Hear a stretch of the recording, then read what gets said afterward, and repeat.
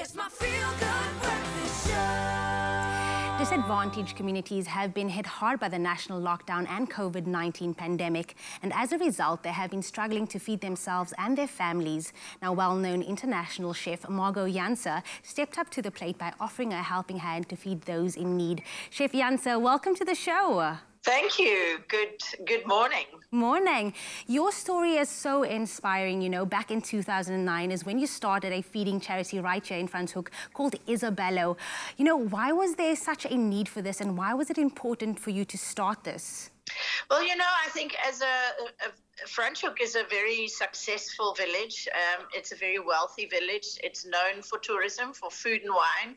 And it always felt kind of skew, you know, that we mm. were busy with the most beautiful ingredients, yet there were people right next door to us really um, suffering uh, from not having anything to eat, and especially the children. So we started within Le Quartier Français. I was the executive chef there um, with making a very nutritious muffin once a week, and we served it to a creche with 70 kids. That was in 2009. Uh, and then the support really grew over the years. And we were preparing food um, in the morning in the kitchen between 8 and 10, which was then distributed by our drivers of the hotel and the restaurant to all the schools that we were supporting. I left Le Quartier Français as chef in 2017, so that's three years ago, and I took Isabelo with me and have, in the last three years, managed to grow it from 1,300 children to 1,500 children that were receiving a nutritious meal every school day in two primary schools and two play schools. Uh, and obviously, at lockdown, that stopped. I couldn't feed the children at the schools anymore. Bless your heart. That has just given me so much goosebumps. But fast forward to 2020, where do you find yourself now with different organizations and initiatives? Chris Erasmus of Foliage, together with the Franschhoek disaster management team, kickstarted an initiative to start cooking for the community. And obviously, with Isabelo not being able to feed the children at school, I immediately said, I'm in, let me see what I can do. I still had quite a lot of food available, and I've opened up the charity to raise funds specifically for the Franschhoek disaster management. And it's really been amazing. I'm so glad to hear that. And I'm sure, you know, preparing a large amount of food like these parcels must be so, so, much work that goes into it and use so much produce. Where does all these ingredients come from? I um, received my permit to travel and to assist and jumped in. And we've all kind of tapped into suppliers and people and we're reaching out and we're saying if you have surplus if you have extra please we can turn it into anything as chefs. And so we started with foliage and le coin français and we started cooking in there and we received uh, butternuts from a farm. And then the uh, Epice kitchen which falls under the la colombe group opened their doors and we've been um, cooking in their kitchen which is fantastic. They've got a marvelous walk-in fridge and a walk-in freezer that we are filling with food food.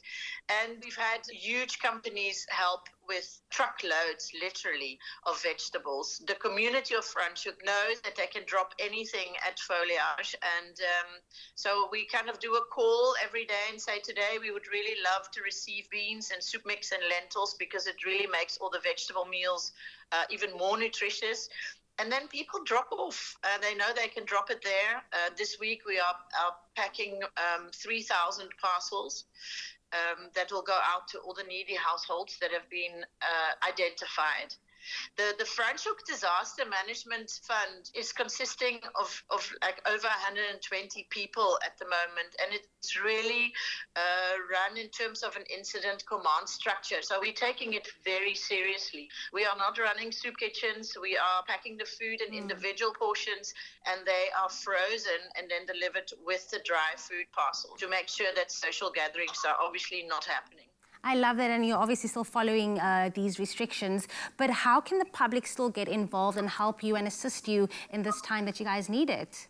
The funds are really necessary to keep electricity going in the kitchens, to keep the gas coming in, and to, to make sure we can make these food parcels. All the chefs are giving their time for free. We now have five restaurants that have opened their doors. And so the community spirit is amazing. We do need funds. A parcel costs 250 Rand and will help a family in need go a long way. So donations are the best way forward at this point and spread the news. Hmm. Well, hopefully this platform will maybe urge people out there to donate and maybe sponsor something for a family in need. Or if you know anybody that has food containers or that could sponsor us with uh, any type of food that is nutritious, we have an amazing team of chefs, and we are really we are making some delicious and nutritious, wholesome food. Chef Margot, thank you so much for joining us, and we look forward to hearing more of your inspiring stories in the near future. Thank you very much, and thanks for your time. Thank you. What an amazing feat to Chef Margot Janse reaching out to the struggling communities of Franschhoek. Now, with the help from the public, businesses, and local chefs, she prevents children and families from going hungry. If you do want to help and support, head on over to our Facebook page to find out more.